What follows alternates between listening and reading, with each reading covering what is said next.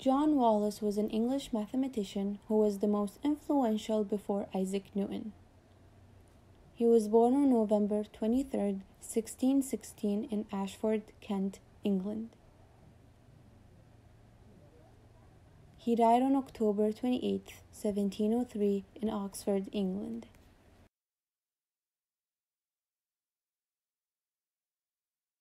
His father's name was Reverend John Wallis. He was a church minister. He died when John was only six years old.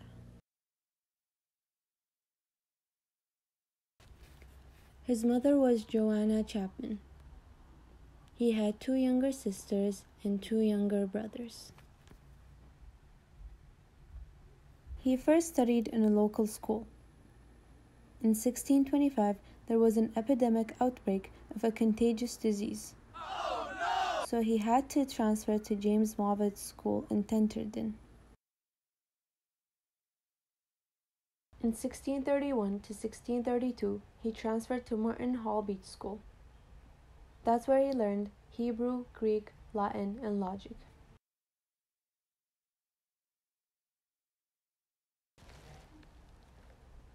In 1632, he attended Emmanuel College, Cambridge. He studied ethics, metaphysics, geography, astronomy, medicine, and anatomy. Now, mathematics was neglected during that time. That's why it's not on the list.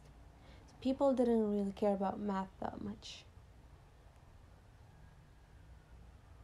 In 1637, he received a bachelor's degree in art and a master's degree after three years. In 1631, during the Christmas holidays, John came in contact with math for the first time. His brother taught him the rules of arithmetic. John said, It suited my humor so well that I did henceforth prosecute it not as a formal study, but as a pleasing diversion at spare hours. Now, although John really loved math, it wasn't until the age of 30 that he started pursuing it. In 1647, John read William Oughtred's highly influential algebra textbook called Clavis Mathematica. It was considered to be the best in Europe. John started to study math ever since. In 1642, there was a letter brought to Wallis in cipher relating to the capture of Chichester. It took him only two hours to decipher. He started using his cryptography skills to decode royalist messages for the parliamentarians during the Civil War.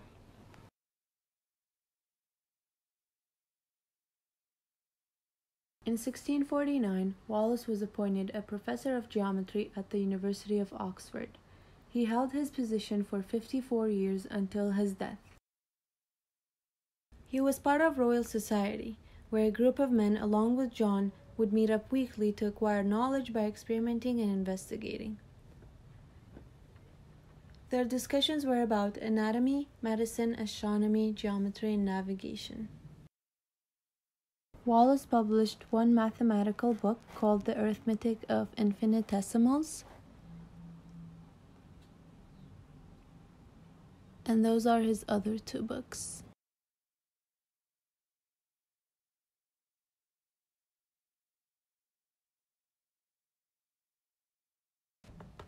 He was married to Susanna Glyde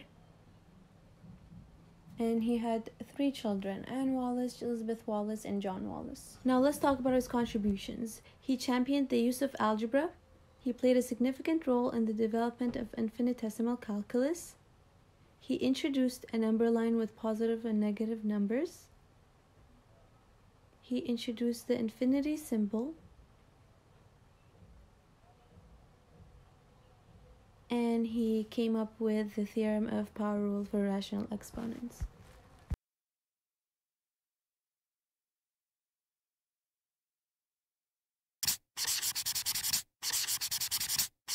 The power rule for rational exponents theorem. The power rule can be proved using implicit differentiation for the case where n is a rational number, n equals p over q, and y equals f of x equals x to the power of n is assumed beforehand to be a differentiable function.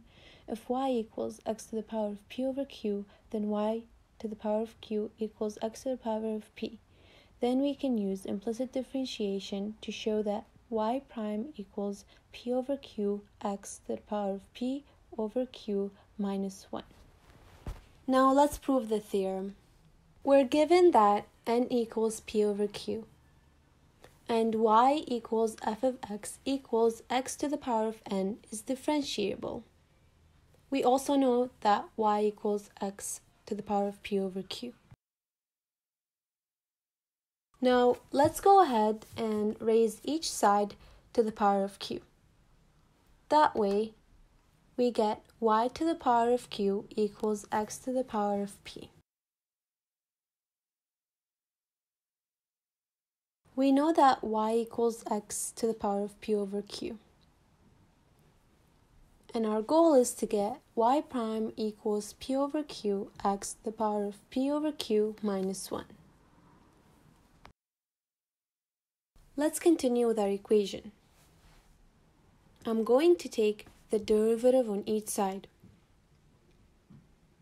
That's going to give us qy to the power of q minus 1 dy dx equals px to the power of p minus 1. Now we want dy dx to be by itself. So let's go ahead and divide each side by qy to the power of q minus 1. Now remember, we have dy dx on the left side because we're taking the derivative of y with respect to x. On the right side, we just use the power rule. That gives us dy dx equals px to the power of p minus 1 over qy to the power of q minus 1. Okay, let's continue. I'm going to rewrite the equation again. Now notice that y equals x to the power of p over q. So let's go ahead and plug that in for the y values that we have. Um, so let's work on the right side now. Um, let's multiply out the exponents in the denominator. That's going to give us px to the power of p minus 1 over q times x to the power of p minus p over q.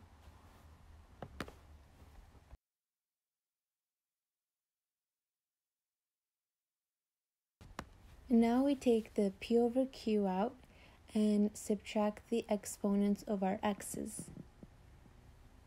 Then we distribute the negative sign, which gives us minus p plus p over q. And the p's cancel out. And that gives us dy dx equals p over q x to the power of p over q minus 1, which is the same thing as y prime equals p over q x to the power of p over q minus 1. And that is exactly what we were aiming for from the beginning, so that is our proof. Now let's do a quick recap. We're given that y equals x to the power of p over q, and our goal is to get y prime equals p over q x to the power of p over q minus 1. So we start off with our equation, which is y to the power of q equals x to the power of p. We take the derivative on each side.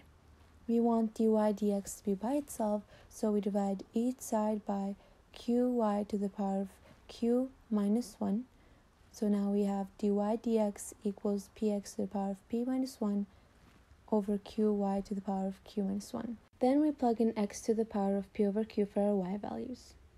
We multiply the exponents in the denominator. We take out p over q and subtract the exponents for x values. The p's cancel out and we end up with dy dx equals p over q x to the power of p over q minus 1, which is the same thing as y prime equals p over q x to the power of p over q minus 1. And now it's time for your review question. Find the derivative of y equals cotangent 3x squared plus 5.